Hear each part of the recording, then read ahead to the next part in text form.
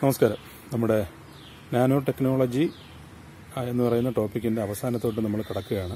അപ്പോൾ ഈ ടോപ്പിക്ക് കൂടെ ഈ ഒരു ക്ലാസ്സോടെ കഴിയുമ്പോഴത്തേക്ക് ആ ഒരു മോഡ്യൂൾ കംപ്ലീറ്റ് ആവും. അതോടുകൂടി നമുക്ക് ബാക്കിയുണ്ടായിരുന്ന എല്ലാം കംപ്ലീറ്റ് ആവുകയാണ് അപ്പോൾ ഇതിൽ നാനോ ടെക്നോളജിയുടെ ആപ്ലിക്കേഷൻ എന്ന് പറഞ്ഞു കഴിഞ്ഞാൽ നാനോ ടെക്നോളജി ആൾറെഡി നമ്മുടെ ജീവിതത്തിനെ മാറ്റിമറിച്ച് കഴിഞ്ഞു. ഇനി ഒരുപാട് ഫീൽഡിൽ അത്തരം ആപ്ലിക്കേഷൻസ് വന്നുകൊണ്ടിരിക്കുകയാണ്. അപ്പോൾ നമുക്കതിനെ പ്രധാനമായിട്ട് നോക്കി കഴിഞ്ഞാൽ നമ്മുടെ ഡെയിലി ലൈഫിൽ നാനോ മെറ്റീരിയൽസ് എങ്ങനെ അഫക്റ്റ് ചെയ്യും എന്നുള്ളതാണ്. അത് ഒരു ഒരു- ഒരു തരത്തിൽ നോക്കിക്കഴിഞ്ഞാൽ പണ്ട് തൊട്ടേ നമ്മൾ അഫക്റ്റ് ചെയ്തിരുന്നു ഉദാഹരണത്തിന് ലെഡ് ലെഡ് എന്ന് പറയുന്നത് ഭയങ്കര കാർസിനോജനിക് ആയിട്ടുള്ള ഒരു സബ്സ്റ്റൻസ് ആയിട്ടാണ് നമ്മൾ കരുതുന്നത്. ഈവൻ ലിപ്സ്റ്റിക് ഉപയോഗിക്കുന്നവരിൽ വരെ ക്യാൻസർ റിപ്പോർട്ട് ചെയ്തിട്ടുണ്ട്. ലിപ്സ്റ്റിക്കിൽ നമ്മൾ നോക്കിക്കഴിഞ്ഞാൽ അതിന് തിളക്കം കൊടുക്കാനായിട്ട് ഉപയോഗിക്കുന്ന ഒരു സാധനം എന്ന് പറയുന്നത് ലെഡാണ് പക്ഷേ സാധാരണഗതിയിൽ നമ്മൾ കാണുന്ന ഈ ലിപ്സ്റ്റിക്കിൽ കാണുന്ന ഒരു ലെഡ് പാർട്ടിക്കിളിന്റെ സൈസ് എന്ന് പറഞ്ഞു കഴിഞ്ഞാൽ ഒരു ടെൻ മൈക്രോമീറ്ററിന് മുകളിലുള്ള സൈസാണ് പക്ഷെ ഈ സാധനം വയറ്റിനകത്ത് പോയി കഴിഞ്ഞാൽ ക്യാൻസർ ഉണ്ടാക്കാനായിട്ട് ചാൻസ് ഇല്ല. അതേസമയം നിങ്ങൾ പഴയ കാലത്ത് ആയുർവേദ മെഡിസിൻസിൽ നോക്കിക്കഴിഞ്ഞാൽ ഹോമിയോ മെഡിസിൻസിൽ നോക്കിക്കഴിഞ്ഞാൽ ഇതിലെല്ലാം തന്നെ നമ്മൾ നോക്കിയാൽ ഈ ഒരു പ്രശ്നമില്ല. കാരണം എന്ന് പറഞ്ഞു കഴിഞ്ഞാൽ അന്ന് അവരത് പ്രൊഡ്യൂസ് ചെയ്തിരിക്കുന്ന മെഡിസിൻ പ്രൊഡ്യൂസ് ചെയ്തില്ല ലെഡ് ചേർക്കുന്നതെന്ന് പറഞ്ഞു കഴിഞ്ഞാൽ അത് നാനോമീറ്റർ സ്കെയിലാണ് ഒരു സിക്സ്റ്റി നാനോമീറ്ററിൽ താഴെയുള്ള സൈസിലാണ് പലപ്പോഴും ഈ പാർട്ടിക്കിൾസ് അതിലുള്ളത്. അന്നേരം അതിന്റെ വാല്യൂ എന്ന് പറയുന്നത് മെഡിസിനൽ വാല്യൂ ആയിട്ട് മാറുകയാണ്. നമ്മൾ നേരത്തെ പറഞ്ഞ പോലെ അതിന്റെ സ്ട്രക്ചറിൽ ഉണ്ടാകുന്ന മാറ്റം കാരണം ഉണ്ടാകുന്ന ഒരു സംഗതിയാണത്. അപ്പോൾ അത് നമുക്കറിയാവുന്ന കാര്യമാണ്. ഇനി ഇപ്പോഴ് ആൾറെഡി നമ്മുടെ ജീവിതത്തിൽ മാറ്റം വരുത്തിയിട്ടുള്ള കാര്യം എന്ന് പറയുന്നത് നമ്മുടെ മൊബൈൽ ഫോണിലൊക്കെ ഉപയോഗിക്കുന്ന ടെക്നോളജി നമ്മൾ നോക്കിക്കഴിഞ്ഞാൽ കോണ്ടം എൽ ഇ ഡി എന്നൊക്കെ പറഞ്ഞ് കേട്ടിട്ടുണ്ട്. ഈ സംഗതിയെല്ലാം കോണ്ടം ഡോട്ട്സ് ഉപയോഗിച്ചിട്ടുള്ള ട്രാൻസിസ്റ്റേഴ്സ് ഉപയോഗിച്ച് വർക്ക് ചെയ്യുന്ന L E D L E D T V ഉണ്ട്. Q L E D T V ഉണ്ട്. അപ്പോൾ ഇതെല്ലാം ഈ നമ്മുടെ ഡെയിലി ലൈഫിൽ മാറ്റം വരുത്തി കഴിഞ്ഞു. ഇനി വരാൻ പോകുന്ന മാറ്റങ്ങൾ എന്തൊക്കെയെന്ന് പറഞ്ഞു കഴിഞ്ഞാൽ ഇപ്പോൾ നമ്മളൊക്കെ ഏറ്റവും വലിയ ബുദ്ധിമുട്ട് അനുഭവിക്കുന്ന ഒരു കാര്യം ഷർട്ടും തുണികളും ഒക്കെ കഴുകുക എന്നുള്ളതാണ്. എന്തുകൊണ്ട് തുണിയിൽ അഴുക്ക് പറ്റുന്നു എന്നുള്ള ചെയ്യുക ഈ സർഫസ് എന്ന് പറഞ്ഞു കഴിഞ്ഞാൽ റഫാണ്. ഓക്കെ? അവിടെയാണ് നമ്മൾ ഈ താമര ഇല നോക്കാനുള്ളത് താമര ഇലയുടെ സർഫസിൽ വാട്ടർ വീണ് കഴിഞ്ഞാൽ വാട്ടർ തെറിച്ചു പോകുന്നതുകൊണ്ടാണ് അതിന്റെ മുകളിൽ ഒരു വളരെ നാനോ കോട്ടിംഗ് ഉണ്ട്. ആ നാനോ കോട്ടിംഗ് എന്ന് പറയുന്നത് വളരെ പെർഫെക്റ്റ്ലി സ്മൂത്താണ് ആ സ്മൂത്ത് ആയിട്ടുള്ള സർഫസിൽ വാട്ടർ മോളിക്യൂൾസിന് അഡ്ജസ്റ്റ് ചെയ്യാനായിട്ട് അറ്റാച്ച് ചെയ്യാനായിട്ട് പറ്റില്ല. അതുകൊണ്ട് അതങ്ങ് തെളിച്ചു പോകും. ഗ്ലാസ് സർഫസ് വരെ നമ്മൾ കാണുമ്പോൾ ഗ്ലാസ് സ്മൂത്താണ് ആണ് സ്മൂത്ത് ആണെന്ന് പറയുന്നത് ആണെങ്കിൽ പോലും അതിന്റെ ഒരു മൈക്രോസ്കോപ്പിക് ഇമേജ് നമ്മൾ എടുത്ത് നോക്കിക്കഴിഞ്ഞാൽ അങ്ങനെയൊന്നുമല്ല സംഭവം. ഗ്ലാസ് എന്ന് പറയുന്നത് അത്ര അധികം നമ്മൾ വിചാരിക്കുന്നത് പോലെ വളരെ സ്മൂത്ത് ഒന്നുമല്ല പക്ഷെ അതിന്റെ പുറത്ത് നമ്മളൊരു നാനോ ലെവലിലുള്ള കോട്ടിങ് കൊടുത്തു കഴിഞ്ഞാൽ അത് പെർഫെക്റ്റ്ലി സ്മൂത്ത് ആവും. അത് ഇതെല്ലാം തട്ടിക്കളഞ്ഞിട്ട് പോകും. അപ്പോൾ അതുകൊണ്ട് ഗ്ലാസ്സിന് നമ്മൾ കാറിലൊക്കെ ഉപയോഗിക്കുമ്പോഴത്തേക്ക് നമ്മൾ വൈപ്പറും ഇതൊക്കെ ഉപയോഗിച്ച് വെള്ളം തളയേണ്ട കാര്യമൊന്നുമില്ല. കാറിന്റെ ഗ്ലാസ്സിലൊരു നാനോ കോട്ടിങ് വരുന്നു ഒരു ഒരു ട്രാൻസ്പെറന്റ് ആയിട്ടുള്ള നാനോ കോട്ടിംഗ് വരുന്നതോടുകൂടി അത് വളരെ സ്മൂത്ത് ആവും അത് വാട്ടർ റിപ്പലന്റ് ആവും. അതേ ടെക്നോളജി തന്നെ നമുക്ക് നമ്മുടെ ഫാബ്രിക്സിൽ തുണിയിലൊക്കെ ഉപയോഗിക്കുന്നുണ്ട്. തുണിയിൽ ഇപ്പോൾ ഈ ഷർട്ടിലാണെന്നുണ്ടെങ്കിൽ അങ്ങനെ ഒരു കോട്ടിംഗ് ഉണ്ടെന്നുണ്ടെങ്കിൽ ഇത് വെള്ളം തട്ടിക്കഴിഞ്ഞ് തെറിച്ച് പോകും. അതോടൊപ്പം തന്നെ അഴുക്ക് അഴുക്ക് പറ്റിപ്പിടിക്കുന്നത് ഈ ഒരു സർഫസിന്റെ സ്മൂത്ത്നെസ് ഇല്ലായ്മ കൊണ്ടാണ്. അപ്പോൾ അങ്ങനെ ഒരു സ്മൂത്ത് ആയിട്ടൊരു കോട്ടിംഗ് വന്നു കഴിഞ്ഞാൽ അതായത് ഒരു കാണുന്ന ഷർട്ട് പറയുന്നത് പോലെ തന്നെ ആയിരിക്കും. പക്ഷേ അതിലെ ത്രെഡിന്റെ മുകളിൽ അങ്ങനെ ഒരു കോട്ടിംഗ് ഉണ്ടായിരിക്കും. ആ കോട്ടിംഗ് ഉണ്ടായിരിക്കുന്നത് കൊണ്ട് ഇതിനെ റിപ്പൽ ചെയ്ത് കളയാനായിട്ട് പറ്റും. അതുമാത്രമല്ല ഒരുപാട് ആന്റി ബാക്ടീരിയൽ പ്രോപ്പർട്ടീസ് ഉള്ള നാനോ പാർട്ടിക്കിൾസ് ഉണ്ട്. അതുകൂടെ വെച്ചാണ് നമ്മൾ ഇത് ചെയ്യുന്നതെന്നുണ്ടെങ്കിൽ ഈ നാറ്റം ഉണ്ടാകുന്ന വീർപ്പൊക്കെ വരുമ്പോഴത്തേക്ക് അതിൽ ബാക്ടീരിയ വരുന്നതുകൊണ്ടാണ് അതിൽ നാറ്റം ഉണ്ടാകുന്നത്. ആ സാധനങ്ങളെല്ലാം നമുക്ക് മാറ്റാനായിട്ട് പറ്റും. പിന്നെ നമ്മൾ മറ്റേ നോലവറ നല്ലിച്ചു കഴിഞ്ഞാൽ നമ്മുടെ കണ്ണിന്റെ വയ്ക്കുന്ന ഗ്ലാസ്. ഗ്ലാസ്സിലൊക്കെ പലപ്പോഴും പൊടി പിടിക്കുന്നു ഇത് പിടിക്കുന്നു. അവിടെയും സെയിം ടെക്നോളജി നമുക്ക് ഉപയോഗിക്കാൻ പറ്റും. നാനോ കോട്ടിങ്സ് കൊടുത്തു കഴിഞ്ഞാൽ അതിൽ വെള്ളം പറ്റാതെയും പൊടി പിടിക്കാതെയൊക്കെ നോക്കാനുള്ള തരത്തിലുള്ള സ്മാ സ്മാർട്ടായിട്ടുള്ള ഗ്ലാസ്സുകൾ അപ്പോൾ ഈ സ്മാർട്ട് ഗ്ലാസ്സസ് സ്മാർട്ട് ഫാബ്രിക്സ് ഇതെല്ലാം നമ്മൾ ഡെയിലി ലൈഫിന് മാറ്റി വരയ്ക്കാൻ പോകുന്ന സാധനങ്ങളാണ്. പിന്നെ അതുപോലെ തന്നെ വരുന്നൊരു സംഭവം എന്ന് പറഞ്ഞു കഴിഞ്ഞാൽ കാറിന്റെയും പലപ്പോഴൊക്കെ ടൂ വീലറിന്റെയൊക്കെ ഒരു വലിയ പ്രശ്നം എസ്പെഷ്യലി ലേഡീസ് എന്നൊക്കെ പറയുമ്പോഴത്തേക്ക് അവർക്ക് വെയിറ്റ് കുറഞ്ഞില്ല എന്നുണ്ടെങ്കിൽ അത് വലിയ പാടാണ്. ഇനി വരാൻ പോകുന്ന ജനറേഷനിൽ സ്റ്റീലിന് പകരം ഉപയോഗിക്കാൻ പോകുന്നത് കാർബൺ നാനോ ട്യൂബ്സ് ആണ്. കാർബൺ നാനോ ട്യൂബ്സിന് സ്റ്റീലിന്റെ അത്രയും തന്നെ സ്ട്രെങ്ത് ഉണ്ട്. പക്ഷെ വെയിറ്റ് എന്ന് പറയുന്നത് അതിന്റെ ഒരു വൺ ടെൻത്ത് അടുപ്പിച്ചേ വരുള്ളൂ. അപ്പൊ അതുകൊണ്ട് തന്നെ വളരെ ലൈറ്റ് വെയിറ്റ് ആയിട്ടുള്ള വാഹനങ്ങളാണ് അടുത്തത് വരാൻ പോകുന്നത്. ഇപ്പൊ തന്നെ പല കമ്പോണൻസും ഒക്കെ അങ്ങനെ ആയിക്കഴിഞ്ഞു. ഈ കാർബൺ നാനോ ട്യൂബ്സിന്റെ വേറൊരു പ്രത്യേകത എന്ന് പറഞ്ഞു കഴിഞ്ഞാൽ അത് കണ്ടക്റ്റീവാണ് നമ്മൾ നേരത്തെ പറഞ്ഞ ഒരു പ്രോപ്പർട്ടി അത് അതനുസരിച്ച് അതിന്റെ സ്ട്രക്ചർ അനുസരിച്ച് അതിന്റെ കണ്ടക്ടിവിറ്റി നമുക്ക് അഡ്ജസ്റ്റ് ചെയ്യാൻ പറ്റും. അപ്പോൾ കണ്ടക്ടിവിറ്റി കൂടുതലുള്ള കാർബൺ നാനോ ട്യൂബ്സ് വെച്ച് വേണമെന്നുണ്ടെങ്കിൽ നമുക്ക് കേസസ് ഉണ്ടാക്കി കഴിഞ്ഞാൽ ഇലക്ട്രോ മാഗ്നറ്റിക് ഷീൽഡിംഗ് പലപ്പോഴും പല ഇലക്ട്രോണിക് ഉപകരണങ്ങളുടെ വെയിറ്റ് കൂട്ടുന്ന ഒരു സാധനം എന്ന് പറഞ്ഞു കഴിഞ്ഞാൽ അതിന്റെ ഇലക്ട്രോ മാഗ്നറ്റിക് ഷീൽഡിങ്ങിന് ഉപയോഗിക്കുന്ന ആ ഒരു ബോക്സാണ്. അപ്പോൾ അങ്ങനെയുള്ള ഇലക്ട്രോ മാഗ്നറ്റിക് ഷീൽഡിങ്ങിന് വേണ്ടിയിട്ട് നമുക്ക് എന്ത് ഉപയോഗിക്കാൻ പറ്റും? ഈ കാർബൺ നാനോ ട്യൂബ്സ് ഉപയോഗിക്കാൻ പറ്റും. അതും അങ്ങനെ ഈ കാർബൺ നാനോ ട്യൂബ്സ് എന്ന് പറയുന്നത് നമ്മുടെ ഡെയിലി ലൈഫിൽ ഒരുപാട് ഉപയോഗങ്ങൾ ഉണ്ടാകാൻ പോകുന്ന ഒരു സാധനമാണ്. ഈ എല്ലാ തരത്തിലുള്ള കാര്യങ്ങളും നമ്മൾ ഈ കാറും ട്രക്കും എയറോപ്ലെയിന്റെ ഒക്കെ കമ്പോണൻസ് പോലും നാനോ ട്യൂബ്സ് ഉപയോഗിച്ച് ഉണ്ടാക്കാനായിട്ട് പറ്റുന്നൊരു ഫെസിലിറ്റിയാണ് ഇനി ഇലക്ട്രോണിക്സിലോട്ട് പോവുകയാണെന്നുണ്ടെങ്കിൽ രണ്ടായിരത്തി പതിനാലിൽ തന്നെ ഐ ബി എംകാർ ഒരു നാനോമീറ്റർ സൈസുള്ള ട്രാൻസിസ്റ്റർ ഒന്ന് ആലോചിക്കുക ഒരു നാനോമീറ്റർ. ആ സൈസിലുള്ള ട്രാൻസിസ്റ്റർ അവർ കണ്ടുപിടിച്ചു കഴിഞ്ഞു. അത് പ്രാക്ടിക്കൽ ലെവലോട്ട് ഇപ്പോൾ തന്നെ നാനോ ട്രാൻസിസ്റ്റേഴ്സ് ആൾറെഡി നമ്മൾ കമ്പ്യൂട്ടറിലൊക്കെ ഉപയോഗിക്കുന്നുണ്ട്. അപ്പോൾ ഈ ഒരു നാനോമീറ്റർ സൈസുള്ള നാനോ ഇത് ഉപയോഗിച്ച് കഴിഞ്ഞാൽ നമ്മുടെ കമ്പ്യൂട്ടർ ചിപ്പുകളുടെ എല്ലാം സൈസ് കമ്പ്യൂട്ടർ മൈക്രോ പ്രോസസ്സിന്റെ ഒക്കെ സൈസ് വളരെ കുറയും. സ്പീഡ് വളരെയധികം കൂടും. എനർജി ലോസ് കുറയും. അങ്ങനെയുള്ള ഒരുപാട് അഡ്വാന്റേജസ് അതിൽ കിട്ടും. അപ്പോൾ നാളെ വരുന്ന കമ്പ്യൂട്ടേഴ്സിന്റെ ഒരു ഒരു ഡ്രൈവിംഗ് ഫോഴ്സ് എന്ന് പറയുന്നത് ഈ പറയുന്നത് പോലുള്ള നാനോ ടെക്നോളജി നാനോ ട്രാൻസിസ്റ്റേഴ്സ് ആയിരിക്കും. അതുപോലെ തന്നെ മെമ്മറീസ്. മെമ്മറീസ് എന്ന് പറയുന്നത് നമ്മൾ ഉപയോഗിക്കുന്ന ടൈപ്പിലുള്ള മെമ്മറീസ് മാറുമെന്നാണ് പറയപ്പെടുന്നത്. അതായത് വളരെ പണ്ട് തൊട്ട് കണ്ടുപിടിച്ച ആദ്യകാലത്തെ ഒരു മെമ്മറിയാണ് ഈ magneto resistive random access memory M RAM എന്ന് പറയും. ഈ എം റാം എന്ന് പറയുന്നത് തിരിച്ചു വരാൻ പോവുകയാണ്. തിരിച്ചു വരാൻ പോകാന്ന് പറഞ്ഞു കഴിഞ്ഞാൽ പണ്ട് കാലത്ത് അത് മാഗ്നറ്റിക് ആയിട്ട് സ്റ്റോർ ചെയ്യുന്നതിനുള്ള ലിമിറ്റേഷൻ എന്ന് പറഞ്ഞാൽ സൈസ് ആയിരുന്നു. ആ സൈസ് കുറയ്ക്കാൻ വേണ്ടിയാണ് ട്രാൻസിസ്റ്റർ ആയിരുന്നത്. അപ്പോൾ ട്രാൻസിസ്റ്റർ മെമ്മറിയേക്കാളും കുറച്ചുകൂടി ട്രാൻസിസ്റ്റർ മെമ്മറിയേക്കാളും കുറച്ചുകൂടി സേഫ് ആയിട്ടുള്ള മെമ്മറിയാണ് മാഗ്നറ്റിക് മെമ്മറി എന്നാണ് കരുതപ്പെടുന്നത്. മാഗ്നറ്റിക് മെമ്മറി എന്ന് പറഞ്ഞു കഴിഞ്ഞാൽ മാഗ്നറ്റിക് ഫീൽഡ് വെച്ച് നമ്മൾ ചെയ്യണം അപ്പോൾ നാനോ മെറ്റീരിയൽസ് വെച്ച് അത്തരത്തിലുള്ള മാഗ്നറ്റിക് മെമ്മറീസ് വളരെ ചെറിയ സൈസിൽ നമുക്ക് തിരിച്ചു കൊണ്ടുവരാൻ കഴിയും.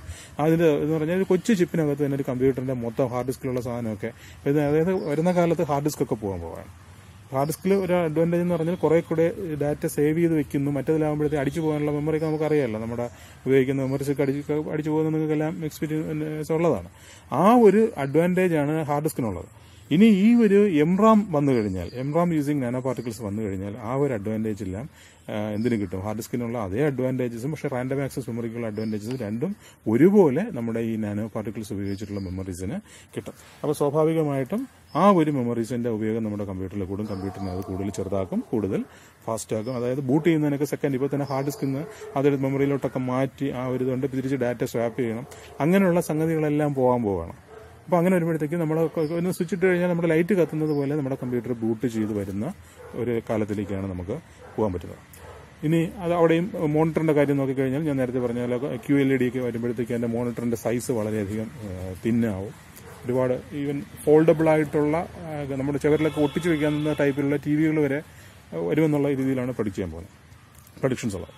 ഇനി അടുത്ത ഒരു ഇമ്പോർട്ടന്റ് ഫീൽഡ് എന്ന് പറഞ്ഞാൽ മാഗ്നറ്റിക് ഫീൽഡാണ് സോറി മാഗ്നറ്റിക് ഫീൽഡല്ല മെഡിക്കൽ ഫീൽഡാണ് മെഡിക്കൽ ഫീൽഡിലുള്ള ആപ്ലിക്കേഷൻ എന്ന് പറഞ്ഞു കഴിഞ്ഞാൽ ഒരു സത്യം പറഞ്ഞാൽ ഒരു കഥ വായിക്കുന്നത് പോലെയാണ് എനിക്ക് തോന്നുന്നുള്ളത്. അതായത് അതിനെ മൊത്തം റീഡിഫൈൻ ചെയ്യാൻ പോകുന്നതാണ് പറയുന്നത് ഇപ്പോൾ ഏറ്റവും പ്രധാനമായിട്ടുള്ള ഒരു പ്രശ്നം എന്ന് പറഞ്ഞാൽ ക്യാൻസർ ട്രീറ്റ്മെന്റ്.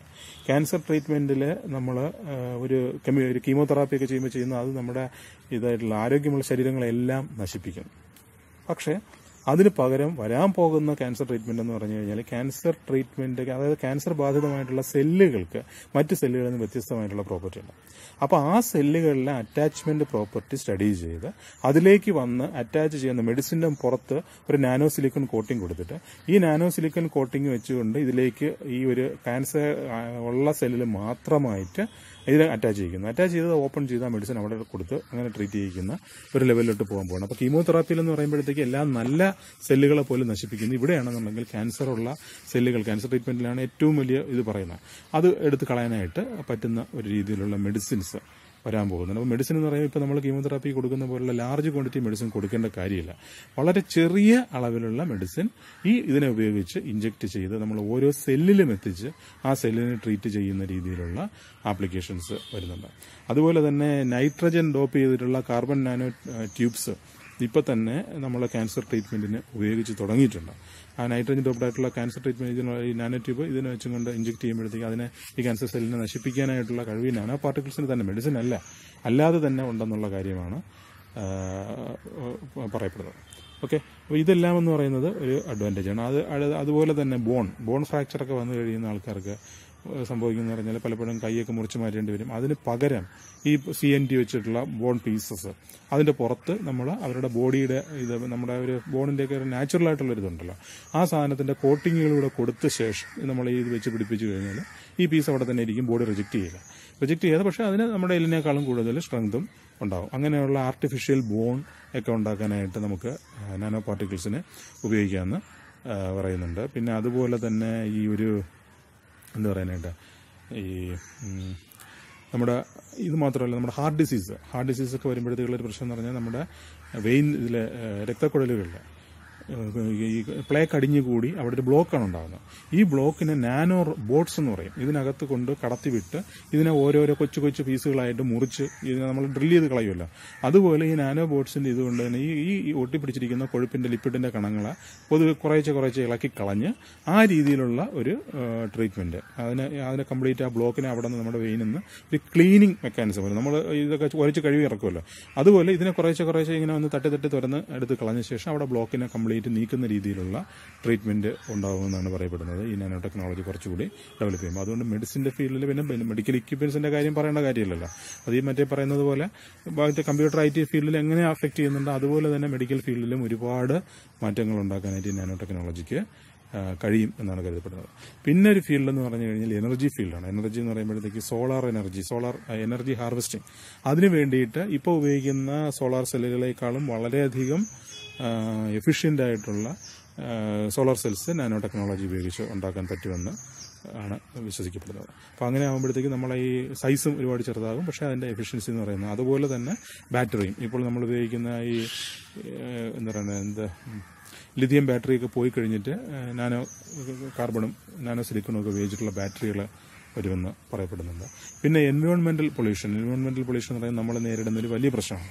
അപ്പോൾ അവിടെ എന്ന് പറഞ്ഞു കഴിഞ്ഞാൽ ഈ ഒരു നാനോ പാർട്ടിക്കിൾസ് ഉപയോഗിച്ച് കാറ്റലൈസ് ചെയ്ത് അതിനെ നമ്മൾ കൺവേർട്ട് ചെയ്യാനുള്ള അതായത് എക്കോ ഫ്രണ്ട്ലി ആയിട്ടുള്ള മെറ്റീരിയലായിട്ട് കൺവേർട്ട് ചെയ്യാനുള്ള തരത്തിലുള്ള റിസർച്ച് നടക്കുന്നുണ്ട്. അതും നടക്കുമെന്നാണ് പ്രതീക്ഷ.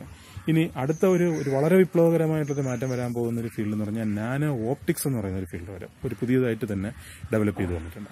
ഈ നാനോ ഓപ്റ്റിക്സ് ഡെവലപ്പ് ചെയ്യാനുള്ള കാര്യം എന്ന് പറഞ്ഞു കഴിഞ്ഞാൽ ഇതിന്റെ ആ നാനോ ലെവലിലോട്ട് പോകുമ്പോഴത്തേക്ക് ഈ ഓപ്റ്റിക്സിന്റെ പ്രിൻസിപ്പിൾ കംപ്ലീറ്റ് മാറുകയാണ്. ഇപ്പോൾ നമ്മളൊരു ആന്റിന നമ്മൾ അറിയാമല്ലോ ആന്റിനയുടെ കാര്യത്തിൽ എന്താ സംഭവിക്കുന്നത്? ആന്റിനയുടെ സൈസിനേക്കാൾ വലുതാണ് റേഡിയോ വെവലൻസ്.